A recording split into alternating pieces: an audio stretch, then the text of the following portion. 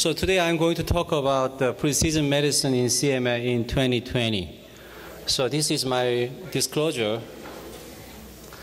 And let me talk about the CML. What is the you know the driver gene uh, gene uh, event in a CML? It is a BCR gene uh, trans, uh, gene rearrangement. We know that.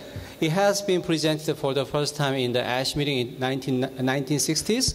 That's why we call it Philadelphia chromosome, because the meeting was held in Philadelphia. And now you see here the BCR gene and ABL gene that is translocated. And our current treatment, which is mainly using the tyrosine kinase inhibitor, it can bind the BCR-ABL fusion protein and it can block the BCR-ABL fusion protein and make the cell to die. Uh, that is not the only uh, reason for better improvement in CML. Another, another, better, another reason is that we are able to monitor their uh, molecular response by using the PCR test. By using the PCR test, we don't need to repeat the bone marrow examination every six months. It gives, a, so it gives a lot of improvement in terms of the disease monitoring. But the problem is that we cannot assess their disease risk before we start the TKI treatment, before we start monitoring of their disease. So then the question is, that, is there a way that we can do some risk assessment before we start the treatment? So far, there's no way, but we are now working on this. So I want to introduce two papers. One is about the commentary about uh, are we ready to use precision medicine in CML practice? And another one is the laying the foundation of a genomically based risk assessment in CML. I, I recommend you to read this paper, and it will give you a little bit of insight about the genomic approach in CML treatment. So let me talk about the genomic profiling in AML. Now in AML, it has become a standard practice. You, you do mutation profile in AML patient when they get diagnosed of AML. And based on this, you define their risk stratification based on the ELN recommendation. And then according to this, you recommend to go ahead to an auto transplant or not. But is, is AML the only disease that is uh, beneficial to get a, that kind of mutation profile? No, probably in CML we might be able to use that too. So there's a lot of uh, studies done in CML area for mutation profiling over the last uh, uh, 10 years. However, the problem is that as you can see here, the uh, methodology is somewhat different. It is very, uh, it is very different, and the gene panel is different, population is different, and exome, exome capture method or the, all that kind of mutation profiling method was totally different. According to this, the data was over the map. So it is, uh, it is very difficult to uh, summarize the data in detail, but that is the reason that I did my own research in CML. I'll just skip the next one, the same. So we did, a, we included 100 CML patients, and we had uh, a sample taken at the time of initial diagnosis. We sort out the cell, uh, which is a T cell fraction, and it can be a representative of their clonal hematopoiesis fraction. And we also have a sample taken at the time of follow-up. Follow-up sample was taken at around 6 to 12 months after their uh, initiation of the TKI treatment. So we have a variety of the patients who responded to TKI therapy, who were resistant to TKI therapy, who progressed to advanced disease. So according to this, we were able to evaluate the dynamics of the mutation profile following the TKI treatment. So let me show you some. So this is, uh, the left side is their mutation profile at the time before start the TKI therapy, and right side is after the, their TKI therapy started at around 6 to 12 months. You can see here, number one is that out of 100 patients, 37 patients, they had a, a detectable mutation during their course of CML treatment. So roughly 37, one third of the CML patients, they still carry certain mutation, which is related to myeloid uh, gene panel. And number two is that ABL1, ASXL1, TET2, DNMT3, RUNX1 was detected in CML population. And another thing is that uh, mutations are enriched in epigenetic pathway mutation. Half of the CML patient who had a, that kind of mutation, they have a mutation in an epigenetic pathway. And resistant or progression cases, they usually acquire the additional mutation from the baseline because we have uh, longitudinal samples. We were able to detect any case who acquired uh, that kind of mutation during their course of treatment. And we found that the case who progressed advanced disease, they have a more likely to, likelihood to acquire additional mutation during their course of treatment.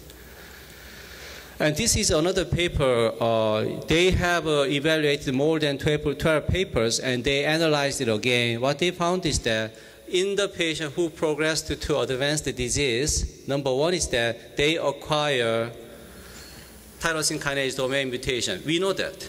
Another thing is that, but they, that's not the only genetic event in the case who progressed to advanced disease. You can see that lung mutation can be acquired, and the Ikaros gene deletion they have a higher frequency of Ikaros gene deletion in the case who progress to advanced disease. So my question is that if we do that kind of gen, uh, genomic sequencing earlier at the time of their initial treatment, before they start the initial treatment, then we can capture high-risk group of the patient who is more likely to progress to advanced disease. Then we might be able to intervene something, maybe upfront allotransplant or more aggressive treatment, they will be indicated in that population. And because we have a three set of the sample, sample taken at the time of initial diagnosis as well as a follow-up, and we also have a T cell fraction which can be a representative of their clonal hematopoiesis fraction, we were able to do some clustering analysis and it showed the three patterns. So you see here, pattern one here, pattern two, pattern three. I will just go in detail about these three patterns. Pattern one is persistent mutation. You see here, at the time of initial diagnosis, they have certain mutation. But interesting is that even after the treatment, that, uh, that mutation variant in terms of the variant frequency, you do not see that big difference.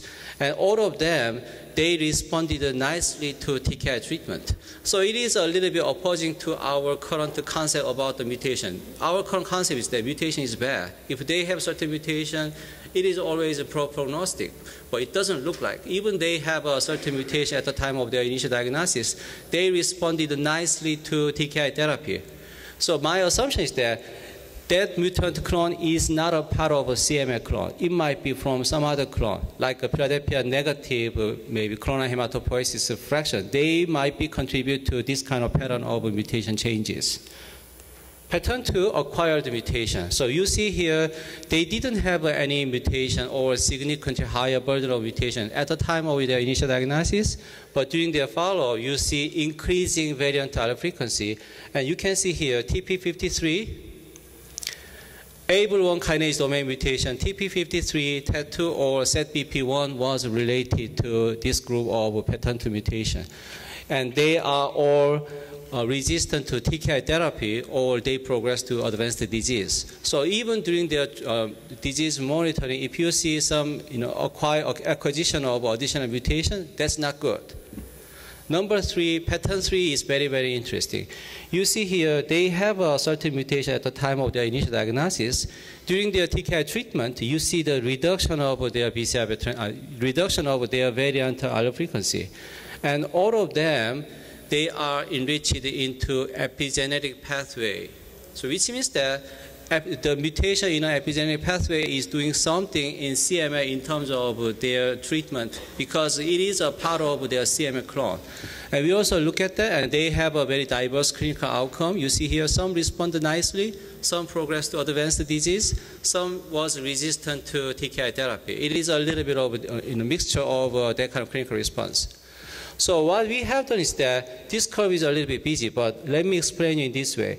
So uh, y-axis is their BCR transcription level. So the deeper you go ahead into the downside, and this is the, their change of their variant allele frequency. So this is their initial treatment, and then, the, for example, in case of pattern 2, their variant allele frequency goes up higher, which means that they are not doing well. And actually, their BCR transcription level was in the range between 100 and 10%, which means that they are resistant to TKI therapy.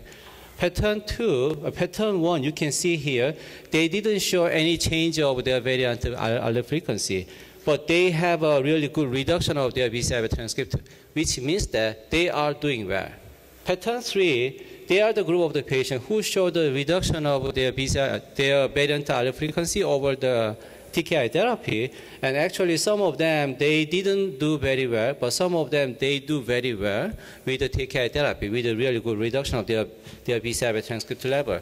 So that's why we have a look at uh, their treatment outcome. I will show the slide in a next couple of minutes. But before to do that, this is our central hypothesis about the leukemogenesis of CML. So now you see some evidence saying that probably in CML there is evidence of pre-existing genetic event before they before the BCR gene rearrangement, hit the CML clone. So roughly around 25 to 30 percent of the CML patient, there is evidence of uh, certain genetic event before they have a BCR gene rearrangement. And after that, they will acquire BCR gene rearrangement and they will progress to CML. Why I'm saying that? So this is our theory, multi-hit, multi-hit theory in CML. There is evidence of detection of a low level of BCR transcript level even in healthy individual. So it, all the work was done in 1995 when the uh, RT-PCR technology has been introduced in CML, and they tried to, they tried to evaluate uh, this technology in a healthy population. But interestingly, they found certain cases who had a BCR-ABL transcript level detectable, but in a very low titer. And then they tried to repeat the BCR-ABL transcript level again in six months or 12 months, and it disappeared. So which means that BCR gene rearrangement, it can even occur in a healthy individual, but that is not enough to maintain their leukemia. So you need another genetic event to for them to maintain their leukemia development. So I think that that's a clonal hematopoiesis. You heard about the clonal hematopoiesis recently over the last five years whenever you go to the ASH meeting.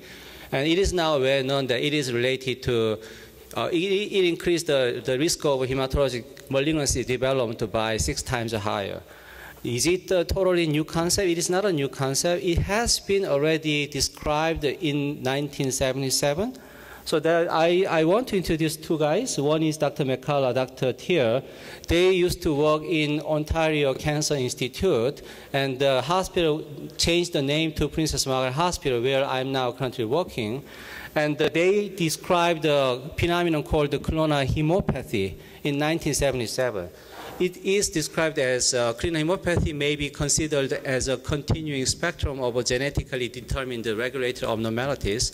And it is a transition state between the disease stage as well as normal stage. So you, if they acquire some, some other additional abnormalities, then the hematopoietic stem cell clone, will progress to leukemia. That's their hypothesis.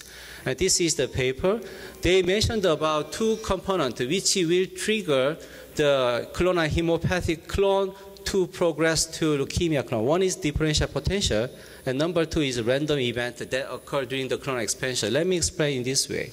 So now hematopoietic stem cell, they acquired a certain that kind of different, uh, they already acquired a certain potential to progress to leukemia, but it doesn't happen before they acquire certain lineage differentiation blockage as well as some random event which will trigger them to have a clonal expansion.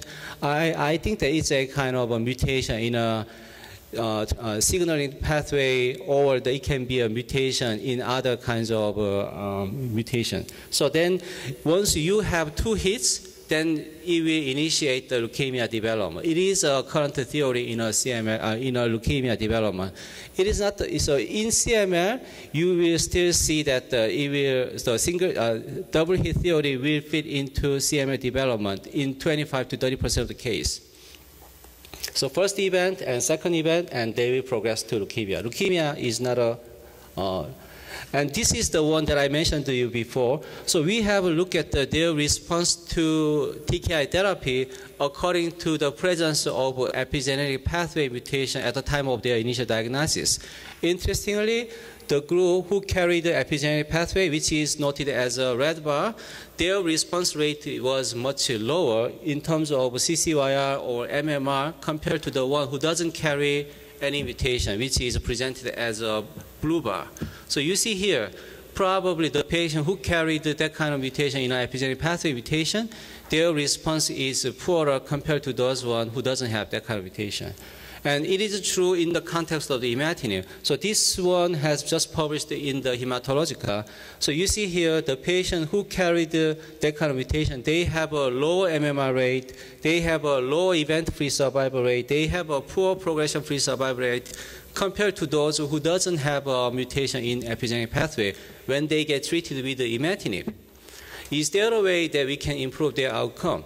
Yes, there is. So when they get treated with the second generation TKI, you can improve their outcome. Even they have a certain mutation such as in an epigenetic pathway like ASXL1, but you can improve their outcome by using second generation TKI. How can we implement that in our clinical practice?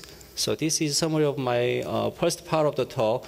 37 of the CML patients, they have uh, that kind of mutation during their course of treatment. There are three patterns, pattern one, pattern two, pattern three, but they have a little bit of different clinical outcome. And presence of epigenetic pathway can be translated into poor response to TKI therapy, especially with imatinib, and you might be able to overcome by using the second generation TKI. So that's why I propose this kind of algorithm. Probably if we do that kind of mutation test in the beginning before you start the TKI therapy, if they do not have any epigenetic pathway mutation, probably they will be good to go ahead with the imatinib treatment. However, if they have a, that kind of mutation in an epigenetic pathway, it will be better to go ahead with the second generation TKI because you want to improve their treatment outcome. Second part of my talk is about the clonal evolution. So now in CML, the, one of the main debate is about the, the origin of a TKI resistant clone, whether they already exist before you start the TKI therapy or it is really therapy acquired clone. So the, our current concept is that we call it acquired resistance. So the, which means that we, we are now thinking that we believe that after the TKI therapy, TKI therapy itself can induce the acquisition of certain genetic event. But it may not be true. They already have a that clone existing before you start the TKI therapy, and by using certain TKI drug, you may make the resistant clone to be selected, and it can become a predominant clone after a certain TKI therapy. And then you detect it later on, uh, 12 to 20, uh, 24 months after the TKI therapy started. So if we can do, if we can do some sequencing uh, mutation profiling at the time of their initial diagnosis, we might be able to dissect it. But the problem of current NGS technology is that Sanger sequencing, as you know, it has very low sensitivity, just around 10% you can detect it. Another problem of uh, conventional NGS technology is that it has an inherent error rate of around 1% to 0.1%. So even you detect 1% clone 1% mutant uh, mutation in your sequencing data, you cannot convince that whether it is from the sequencing error or it is from the real clone which is resistant to certain TKI therapy. So because of this, because of this kind of noise, you cannot apply this kind of methodology into your clinical practice. Probably this kind of noise can be overcome by using the error corrected error correction technology such as uh, duplex sequencing or barcode sequencing. Let me introduce about the duplex sequencing. Duplex sequencing, you can see that there is a plus strand and minus strand, and you sequence in both ways, and you correlate them. If it is not detected in plus strand as well as minus strand, you remove the, the sequencing signal, and then you will see that after that noise, uh, uh, noise clearance, you only see one specific signal which is specific for certain TKI muta mutant clone. That you might be able to detect real mutant clone based on that kind of duplex signal, uh, signal uh, duplex sequencing technology. And it is also well demonstrated that mutation burden is different according to the treatment outcome, but probably mutant clone already pre-exist at the time of their initial diagnosis of CML. That is our current theory about the resistant clone of, uh, in CML uh, patient. And another uh, study also showed that what they have is that they do sequencing based on the digital PCR, and uh, they kept they include all they evaluated all patients who were not responding to TKI therapy properly for example, who failed the TKI therapy or who were suboptimal to TKI therapy, they sequence them, and the left side is their sequencing, uh, their mutation frequency based on the Sanger sequencing, which is 25%, and right side is their mutation frequency based on the NGS, which is roughly around 47%. So they demonstrate that based on if you adopt the NGS in your clinical practice, you might be able to increase your sensitivity of detecting certain mutant clone, probably at the time of their TKI failure or suboptimal response, and you might be able to switch the medication according to NGS data. So if you want to apply that kind of information in your clinical practice, I just go to this one. So this is my previous uh, algorithm. So based on the epigenetic pathway, you might be able to define whether this patient can go to imatinib or second generation.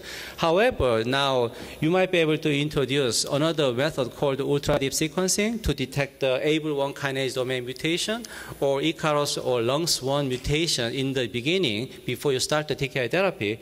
If there's no mutation, then you go ahead with the somatic mutation panel for epigenetic pathway, and then if there's any mutation detected, you can go ahead with the second generation. But if there's no mutation, then you can go ahead with the imatinib. But if you detect a certain ABL1 kinase domain mutation detected even before you start the TKI therapy, then based on the mutation profile, if you detect T315I, then you may have to go ahead with the ponatinib or asciminib as upfront or depending on the mutation profile, you can, you can choose your second generation TKI according to this. If you detect Ikaros gene deletion or the RUNX1 mutation in the beginning, even, you, even before you start the TKI therapy, probably they will be in high risk of progression to advanced disease such as a blastic crisis. Then you may have to consider upfront ROBMT in that case. And if so. Yeah, let me just go back. So this is my last slide. Let me just go back to my last slide, this one. So future CML management incorporating the NGS, somatic mutation assay of, uh, in epigenetic pathway, that would be helpful to guide your upfront TKI therapy, whether you have, go to, you have to go ahead with the second generation TKI or the imatinib treatment, they, can, they will be helpful to guide your upfront TKI drug selection. And other genes such as Ikaros gene or RUNX1 or ABL1, it can be inco incorporated into your upfront NGS panel, especially in your newly diagnosed CML patient. And probably error-corrected sequencing technology, they can, uh, they can revolutionize our current practice. Thank you for your attention.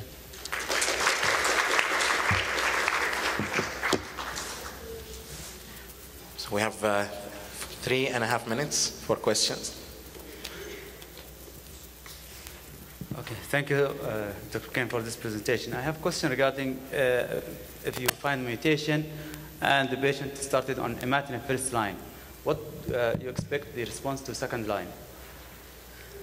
So you are now asking about the response rate compared to imatinib versus uh, no, no. second generation? Uh, mutation is present and patient who started in imatinib, for example, and then he had treatment failure. So what's the response to so you are not talking about the mutation in an epigenetic pathway or ABL1 kinase uh, Epigenetic pathway. Epigenetic pathway, as you have seen in my presentation, the MMR rate of uh, uh, the patient who has epigenetic pathway, their response rate is roughly around, their MMR rate is roughly around 40% compared to 60% when you, when you treat them with the imatinib in the patient without having an epigenetic pathway. With the second generation TKI, uh, Dr. Uh, Hammerschmidt's group, they already demonstrate that you can have a similar rate of MMR by using the second generation TKI. If in a second line, I mean. Yeah, if we, in the second line, I do not have that, that data. Yeah, I don't have the data yet. Uh, thank you very much. I just have one question. I mean, this is a disease that has a very high response rate. That's number one. Number two is that these, some of these mutations may be present in elderly population that may not have actually a true role mm -hmm. in uh, disease progression. So how would mm -hmm. you mm-hmm. make a judgment based on these in elderly population? That's number one. Mm -hmm. And are you actually using this in your clinical practice at this present so time? So the answer for your second question is no, not yet. But we just started a kind of geno prospective genomic cohort project. So we are going to uh, we are going to collect the research sample for our CML patient to all of our newly diagnosed CML patient, and we are going to follow them yearly so we can see the changes. For your, uh, for your question number one, which is whether the, this mutation is a part of a clonal hematopoiesis. So you might be able to see uh, higher prevalence rate of that kind of mutation in an elderly population. That's true, and I think that that's a very valid point. Uh, that's why we need a longitudinal follow-up. Just one single time of measurement, that's not enough. You may have to, you may have to repeatedly measure the, uh, collect the sample and monitor their mutation profile.